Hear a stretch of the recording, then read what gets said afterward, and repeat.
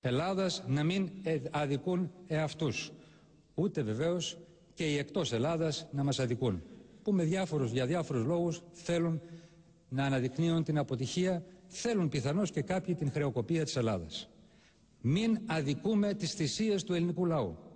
Να σταματήσει αυτή η αυτομαστίγωση και η ισοπαίδωση των πάντων που απειλεί και την ίδια την προσπάθεια της πατρίδας μας να ανακτήσει την αξιοπιστία της υπονομεύοντάς την και στα μάτια μας και στα μάτια άλλων διεθνώς. Επειδή όμως γνωρίζουμε όλοι καλά ότι το δημοσιονομικό πρόβλημα της χώρας είναι το αποτέλεσμα μιας βαθύτερης πολύπλευρης κρίσης, πέρα δηλαδή από τη διαμόρφωση του ελλείμματος των χρεών, εμείς δρομολογήσαμε τις αναγκαίες μεγάλες αλλαγές που αντιμετωπίζουν αυτά τα βαθύτερα αίτια. Βάλαμε μπρος για τις μεγάλες αλλαγές και μεταρρυθμίσεις που η χώρα μας χρειαζόταν εδώ και πολλά χρόνια αν όχι δεκαετίες. Σε 19 μήνες κάναμε όσα δεν είχαν γίνει επί πολλά χρόνια.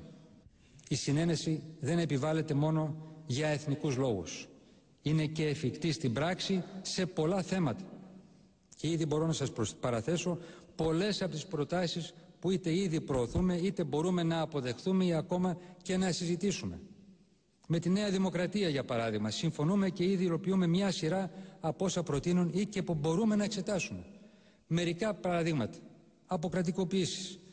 Διευκόλυνση εξόφληση των ληξιπρόθεσμων οφειλών του δημοσίου συμψηφισμός που ήδη έχει ξεκινήσει. Περιουσιολόγιο.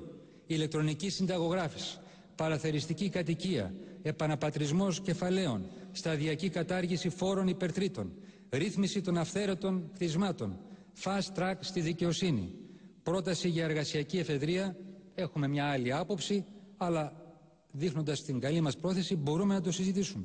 Επαναλαμβάνω ότι αυτές είναι μόνο μερικά, μόνο μερικά παραδείγματα και υπάρχουν και από άλλα κόμματα επίσης σημαντικά, σημαντικές προτάσεις μπορούμε όλοι μαζί να συμφωνήσουμε στα βασικά για να αλλάξει επιτέλους η πατρίδα.